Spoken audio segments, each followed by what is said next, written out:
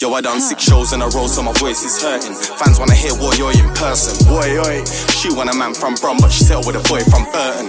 I still see feds on the block, still see the boy them lurking. Hi there guys, Adam from The Beard Solution here back with another video and in today's video I'm going to be talking to you about why one side of your beard is weaker than the other. So without further ado, let's get into this video.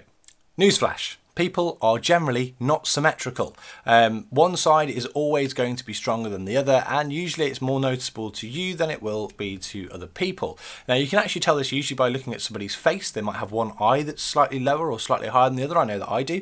Um, and the same goes for beard as well. Your beard might have more growth on one side than on the other. It might grow quicker on one side than the other. Uh, so obviously there's many different factors there. There's your follicular pattern and there's also the rate of growth.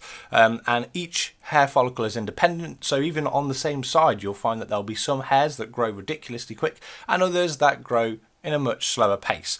So there it is guys. It's, pretty normal. So it's not something to worry about. Um, and even with minoxidil for the beard for example I use minoxidil for the beard. I don't have the strongest results out there by any stretch. I've got pretty average results maybe even slightly below average results using minoxidil for the beard but I have got something that resembles a beard now. Uh, and whilst I was first growing it out, the first time I was growing it out, I realised my left side is a lot stronger than my right side. Now to me it's a lot more obvious than it might be to you. Now when I look in the mirror I can spot it straight off and I can see the areas that it is slightly weaker. But when I do grow it out over a longer period of time, this is obviously quite a short period of growth at the moment, I think about seven or eight weeks, um, you'll actually see that uh, it evens up quite a lot. To me, I can still notice the difference, but it evens up quite a lot. And this is the same for naturally bearded guys as well. So you'll find a lot of naturally bearded guys who have the same kinds of problems.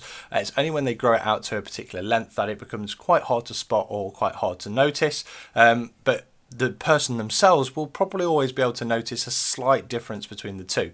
So guys, it's pretty normal. The things that you can do to counteract it on your minoxidil beard journey, um, there's patience is one of the things. One side, as I say, will always be weaker than the other, but they will even up over time. There's patience. You could also consider derma rolling. Uh, I talk about this a lot in my videos. I do have a separate video on derma rolling, so feel free to go and watch that video. I'll put a link in the description. Um, but that can obviously help stimulate hair follicles and also collagen um, production synthesis within your skin, which can also help with things like hair growth.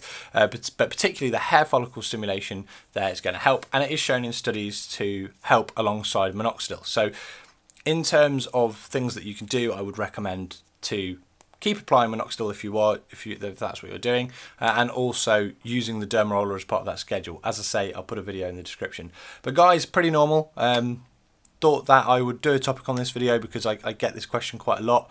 But yep, there is something you can do about it, but it won't change overnight and one side is unfortunately always going to be weaker than the other most likely.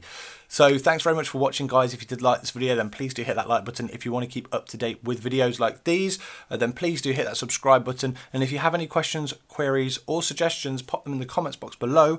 I've been Adam at The Beard Solution and I'll see you guys again next time. You don't rate me cause I ain't got a blue tick, but I got one on the top that gave me.